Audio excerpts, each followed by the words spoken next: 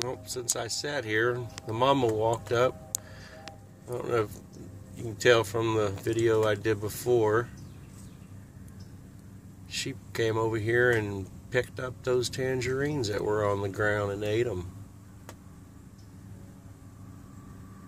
I mean, of course, she picked them up with her mouth, but one at a time, she walked around and picked them up and ate them.